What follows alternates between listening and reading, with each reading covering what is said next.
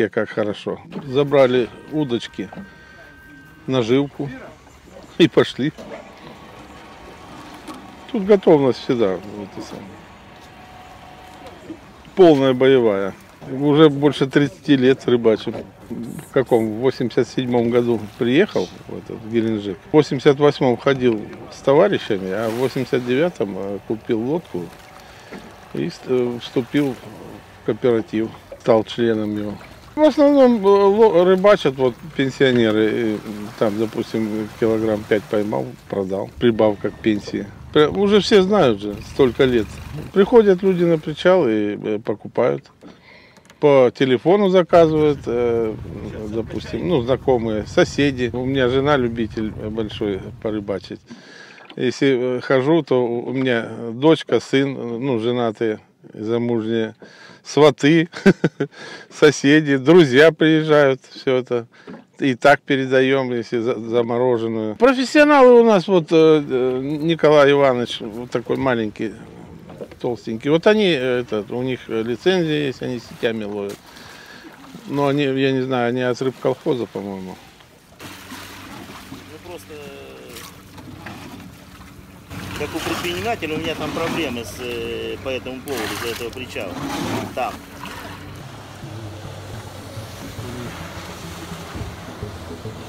Туда иди за этим, за Голяком, на, на- за Голубую бухту.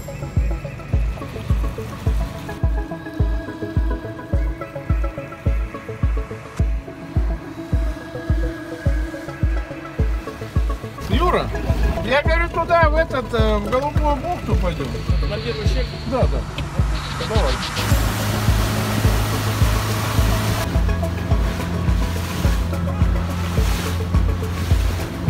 Вон, видишь, прыгнул, рыба приходит с Азова, и они приходят оттуда кормиться. Видишь рассвет?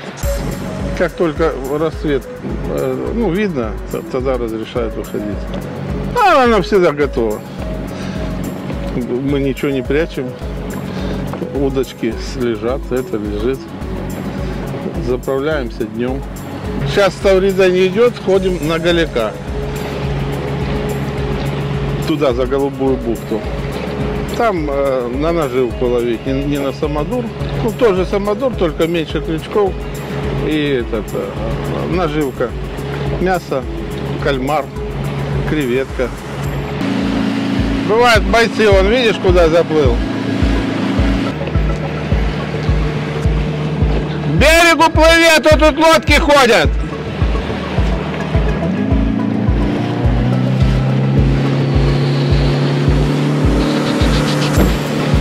Повал идет сегодня. Мы обычно ловим вот там, где якорная стоянка, не заходя к абординке. Там рыба ловится в основном. Самое интересное, что здесь нет, а там ловится.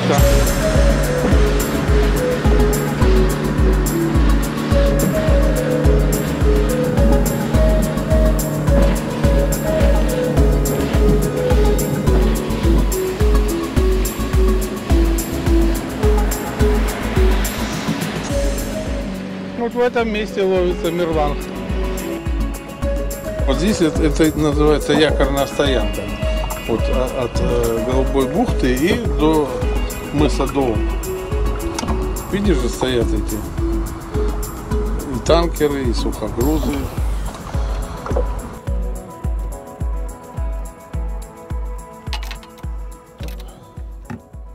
А вон видишь, этот береговая охрана. Они все время стоят возле этого, по- подойдут э, возле бухты у нас. Высаживают катер, и катер между лодками едет, проверяет документы. Ну, здесь везде граница. Раньше вообще было строго, сейчас хоть это, просто отмечаемся. перед тем, как выйти, звонишь на заставу. У тебя есть номер учетной карточки, записывают кто, сколько людей, сколько бензина, сколько, куда идешь.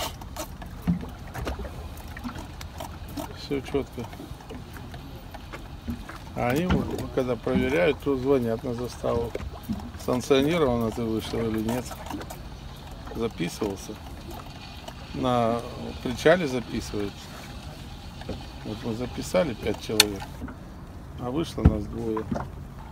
Ну, дыню могут ставить. И- Или вышел, допустим, из моря и не отзвонился, что ты вышел из моря. Уже я попадал на штраф. Продали все, весь берег. Остался, наверное, один наш причал неосвоенный. Вот э, у соседей там э, тоже война была, когда был яхт-клуб, там война была, эти СОБР вызывали там с оружием, все это, выгоняли их оттуда. Там же до последнего вот этот э, три красивых дома, когда построили, до последнего пу- пустырь был. А потом построили, когда кому-то место, наверное, понравилось наше. Оказывается, они ну, оформили землю на себя, администрация. А потом, когда оформили, отправили нас в суд, вернее, дело в суд о незаконном нашем пребывании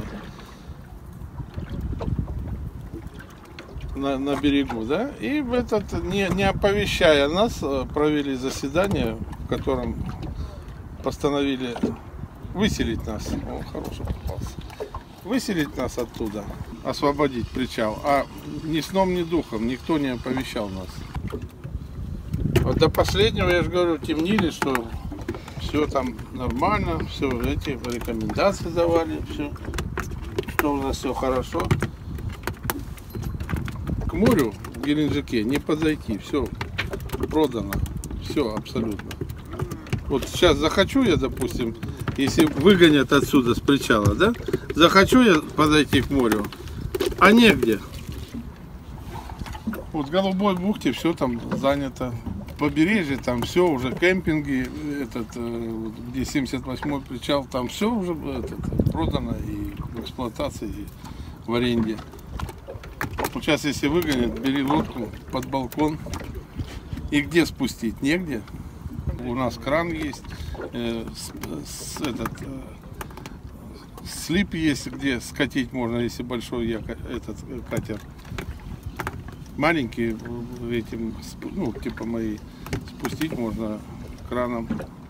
Я маленький был вот такой, в речке рыбу ловил. И всю жизнь я, вот где бы ни был, я на севере долго проработал. На севере рыбачил. Ну, хорошее что-то подцепилось. На севере рыбачил. И здесь вот, я же говорю, вот больше 30 лет. У меня и сын, и дочка, и внук даже ходит со мной. Внук маленький был, вот мы его брали с собой. Накроем на носу, спал. Он хороший.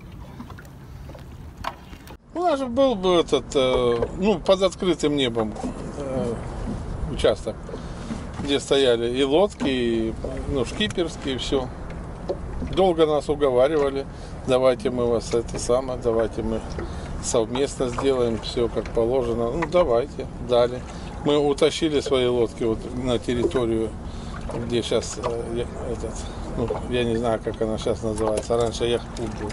Вот они стояли там, а в это время строили вот этот э, подвал и смотровую площадку сверху.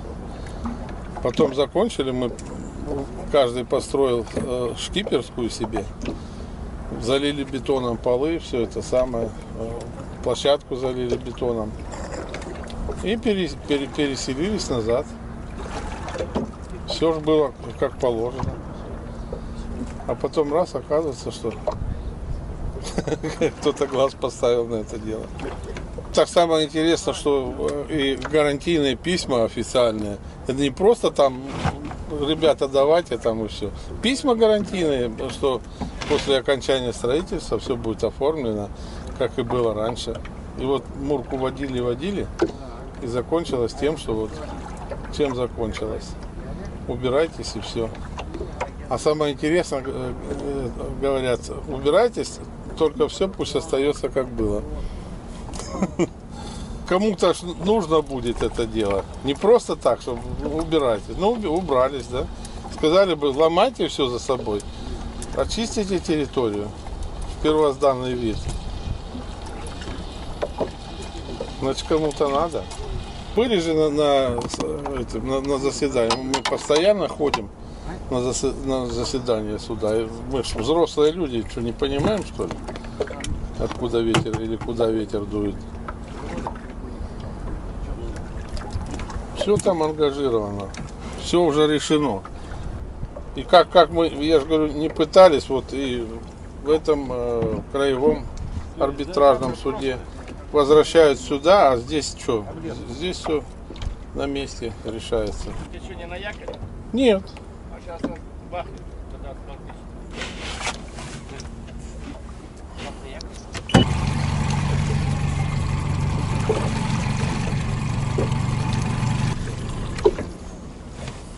Надежда всегда есть. Я же говорю, наше дело правое. Просто, знаешь, интересно, что местная власть, казалось бы, да, вас выбрали. Для чего? Для того, чтобы вы защищали интересы местных людей, да? Я понимаю, там хорошо, что люди приезжают, отдыхают. Все, ну местные что, живут здесь? И как так вот взять, вышвырнуть, да? Все равно кому-то отдадут. Не просто так же. Сказали бы, ребята, вот на таких основаниях давайте мы вам оформим, да? И приоритет-то мы должны иметь при предложении кому-то. Сказали, бы, ребята, вот так и так, тут такой вот расклад. А то никакого диалога. Абсолютно. Те же самые, я же говорю, если, бы, допустим, один давал гарантию, а другой бы сказал, а я знать не знаю. А то та же, та же власть, те, которые давали гарантии, все, а сейчас говорят, мы знать не знаем. Я сам строитель. И причем это не просто строитель. Я закончил карьеру заместителем генерального директора электромонтажной организации. И я знаю, допустим, что бы ты ни делал, да, сколько хранятся эти документы. Акты и на скрытие работы, и акты приемки, и техническая документация вся исполнительная, сколько хранится, да, и сказать, что а вот, а завтра на голову упадет кому-нибудь что-нибудь, завалится. И что, как это э, не хранятся документы? А здесь такой этот э, объект эстакада, да, пешеходная. Как это так? Я же говорю, завтра упадет. Кто отвечать будет? Так не бывает. А, допустим, на нашем причале, если техосмотр проводят, 120 лодок, э, плюс э, те, которые это самое, назначают время.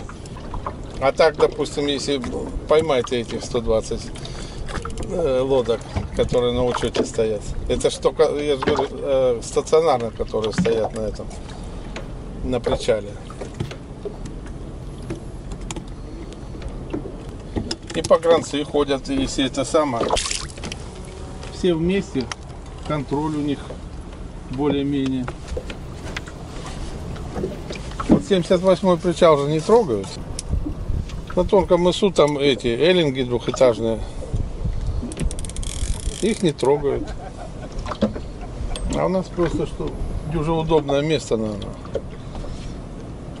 Тоже хотят построить марину на 150 яхт. А у кого отжать, как не у бедных пенсионеров? Столько лет были э, это самое, э, ну, я уже, я же говорю, 30 лет, а вот не, Жорика, вот отец, дядь Ваня, тот вообще, я не знаю, Жорику уже 60 лет, сколько лет ходит с отцом. Отец уже 80, сколько, 87 лет ходит каждый день на рыбалку. Дедуля. А са- самое больше, вот я с дядь Ваней, э, мы дружим уже больше 30 лет. С дядь Ваней мы ловили эту э, афулу Катрана. Скатов ловили. На перемет. Бывает так, что от, от дна не отдерешься, столько цепляется их. Вот такие вот большие. Короткий такой толстый спиннинг с катушкой, леска такая, миллиметровка. На один крючок опускаешь рядом. Вот она приходит на запах крови и цепляется. Ловили. Ра- Раньше много ловили. Сейчас тех не осталось, уже умерли все. Вот дядь Ваня один из этих остался, из старых боевых.